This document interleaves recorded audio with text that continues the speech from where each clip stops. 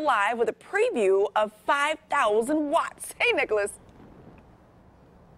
Hey, how's it going? Good morning. Good morning. Uh, I don't know if you noticed this, but you're standing next to some glowing bird. Yes. Is that a peacock? What is that? Yeah, I noticed that a little bit. that is Eileen the Giant Peacock. She's Oh. a part of our 5,000 watts event. I love that she has a name. I did too. That is Eileen. so cool. So tell us about 5,000. We love anything Gotta with give her a lights. name. So we're fascinated by this. Yeah, but tell yeah. us about this event. Oh yeah, there's going to be lots and lots of lights here. A whole entire thing of uh, Drake's the Barn is going to be covered with 5,000 watts installations. So what it is, it's Square Root Academy's Outdoor Electronic Art Festival. Um, this has been in the making for some time, so we gathered makers from all over. It's mostly Sacramento, the Bay Area, a little bit of Southern California, all to make sure that we're really showing people what can happen at the nexus of art and technology.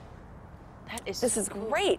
And Nicholas, I know we've uh, we've hung out with you guys before talking about Square Root Academy, which is an amazing mentor group for young people uh, in the in the STEM world. Um, how are you connecting this with what you guys are doing for Square Root?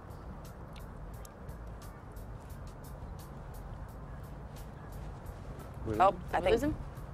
I think we lost him. We lost him. Hey, Nicholas, can you hear us? Oh, Oh. Oh, How are you man. connecting this to the Square Root Academy? So this is connected to Square Root Academy because what we really focus on is science, technology, engineering, and mathematics. This time we're putting the A in that a little bit for a little bit of steam.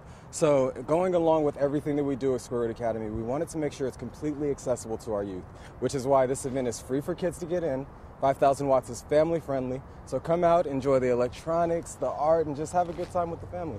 Absolutely. Sounds It's like so a good time. cool. Yeah. I'm in, man. I'm So in. It's two nights. It's tonight and tomorrow, 6:30 to 11 there at the barn. Which, if you've been there, it's a huge open space. So they got a Mm-hmm. lot of play area to do all of this uh, for the uh, community there. But the uh, tickets are available online. We've linked that to gooddaysacramento.com. I saw they've got this uh, baby grand piano that's going to be all lit up. That's even so some cool. yoga.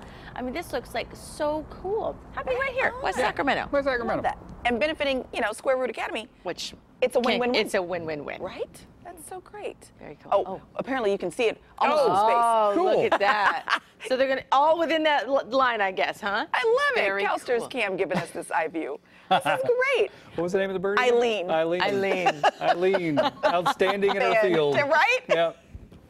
It's so great. I feel like by the end of the show, you're going to have like 10 different things that you have to do this weekend. Right. Yeah. We need to narrow it down. I, I don't know, man. I think I have to see this. know. This I know. is cool. Cool.